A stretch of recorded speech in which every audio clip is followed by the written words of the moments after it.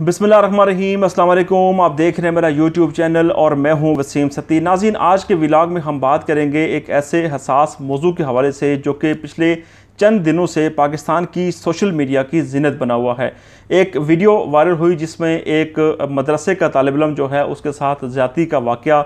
جو ہے وہ سامنے نظر آ رہا ہے۔ اور اس زیادتی کے واقعے میں اسی مدرسے کا جو طالب علم ہے، اس کے جو مولوی صاحب جو ہیں وہ اس میں ملوث ہیں۔ اس کے بعد ہم نے دیکھا کہ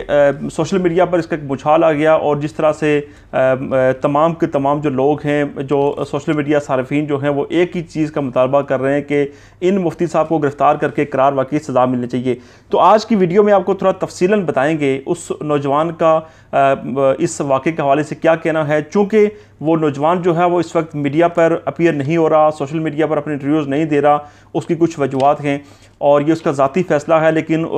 اس کے اس کے ساتھ یہ جو پورا واقعہ پیش آیا ہے، جو اس نے اپنی زبانی یہ واقعہ بتایا ہے، وہ آپ کے ساتھ ہم آج کی ویڈیو میں رکھیں گے۔ اور اس کے ساتھ ساتھ آپ کو کچھ حقائق بتائیں گے، اور آپ کو یہ بھی بتائیں گے کہ اس مدرسے کے جو یہ مولوی صاحب جو ہیں ان کا تعلق جو ہے وہ کس جماعت کے ساتھ ہے، اور ان کے خلاف ابھی تک اس جماعت کے سربراہ نے کتنی لب کشائی جو ہے ابھی تک وہ کی ہے۔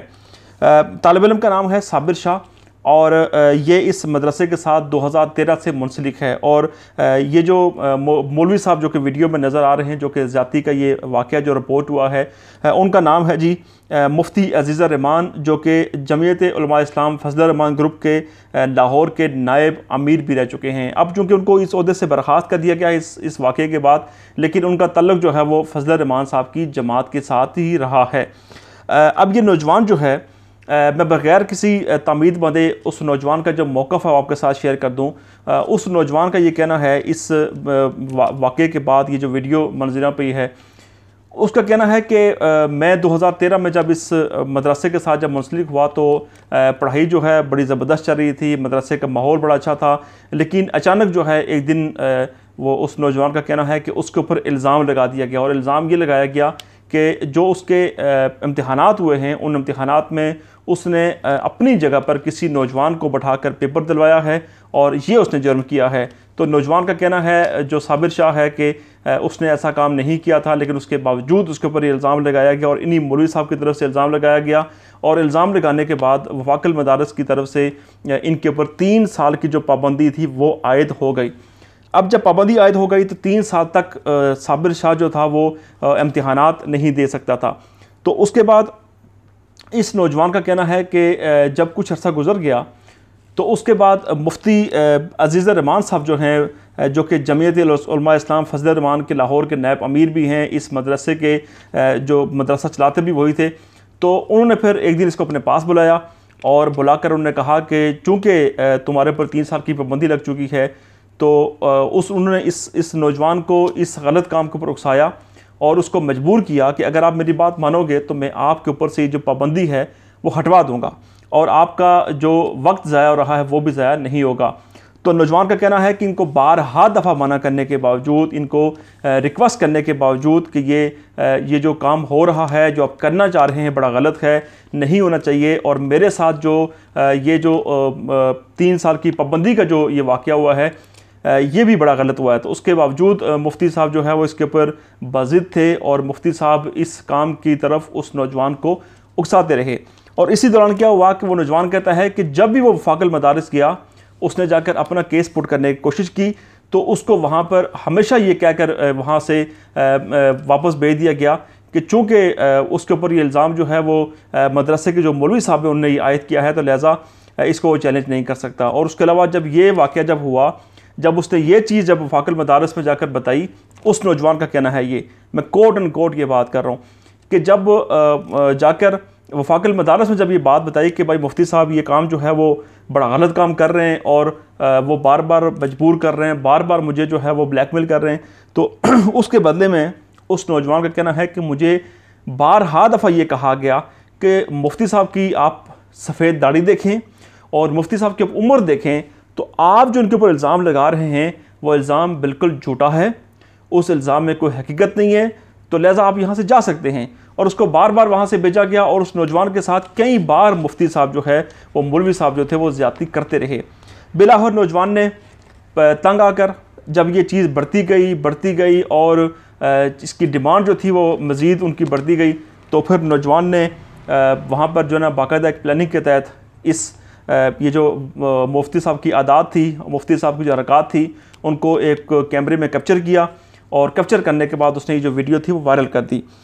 اب وہ جو نوجوان ہے وہ یہ کہہ رہا ہے کہ اس کو چونکہ اس نے جو کام کیا ہے، اس کے بعد اس کو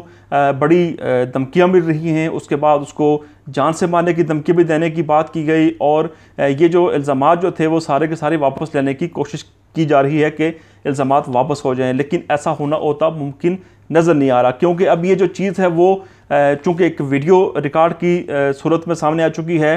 اور پچھلے چند دنوں سے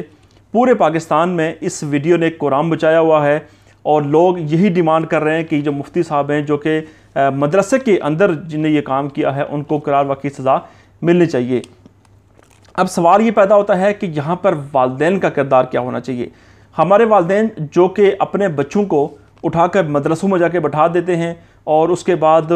ان کو نہ ان کے ساتھ رابطہ کرتے ہیں، نہ ان کا حال حوال پوچھتے ہیں اور نہ ہی ان کے ساتھ کوئی انٹریکشن رکھتے ہیں۔ تو اس طرح کے جو بچے ہوتے ہیں، وہ بچے جو ہے ان کے ساتھ اس طرح کے واقعات جب ہوتے ہیں تو وہ اپنے والدین کو بتانے سے قاصر رہتے ہیں اور اپنے والدین کو بتانا بھی وہ پسند نہیں کرتے کیونکہ ان کی والدین کی انٹریکشن جو ہے اپنے بچوں کے ساتھ اس طرح کی نہیں ہوتی۔ تو بینگ اے پیرنٹس ہمارے سب کی ذمہ داری ہے کہ ہم اپنے بچوں کے ساتھ انٹریکٹ کریں، ان کو ان چیزوں کے بارے میں آگاہ کریں اور ان کو اس چیز کے بارے میں بتائیں کہ اگر ان کے ساتھ سوسائٹی میں اگر ایسی کوئی چیز ہو رہی ہے یا ہونے کی کوشش کر رہا ہے تو اپنے والدین کو بتائیں۔ اس کے ساتھ ساتھ فضلہ رحمان صاحب جو کہ ملک کے سیاستدانوں کے بارے میں بات کرتے ہیں، کبھی کسی کو یہودی ایجنٹ کلاتے ہیں، کبھی کسی کے اوپر کیا فتویٰ لگا دیتے ہیں ان کے اوپر باری ذمہ داری عائد ہوتی تھی کہ فضل رحمان صاحب جو ہے وہ ان مفتی صاحب کے بارے میں جو کہ جمعیت علماء اسلام، فضل رحمان لاہور کے نیب امیر ہیں، ان کے بارے میں فوری طور پر کوئی بیان دیتے اور بیان دے کر حکومت پاکستان سے اور پاکستان کے اداروں سے محاطب ہو کر کہتے کہ وہ اس مولوی صاحب کو قرار واقعی سزا دیں تاکہ وہ آئندہ کے بعد یہ کام نہ کرے، لیکن بدقسمتی کے ساتھ۔ پاکستان میں اگر سیاست کرنی ہو پاکستان کی اگر ایک الیکٹڈ حکومت کو گرانے کے لیے اگر کوئی ایجنڈا کا بنانا ہو تو فضل رحمان صاحب وہاں پر کے بیانات دیتے ہیں، طرح طرح کی باتیں کرتے ہیں، لیکن لیکن بدقسمتی کی بات یہ ہے کہ اس واقعے کے اوپر فضل رحمان صاحب نے ایک لفظ نہیں بولا۔ اور نہ ہی انہوں نے اس واقعے کو کنڈم کیا، نہ ہی انہوں نے ان مفتی صاحب کی جو حرکات تھی ان کو کنڈم کیا اور نہ ہی ان کو جماعت سے نکالنے کے لیے اپنے کوئی آرڈر جاری کیے، بلکہ فوری طور پر ان کو ان کو عہدے سے ہٹا کر جو ہے اس معاملے کو رفع دفع کرنے کی کوشش کی گئی اور بدقسمتی اس بات کی ہے کہ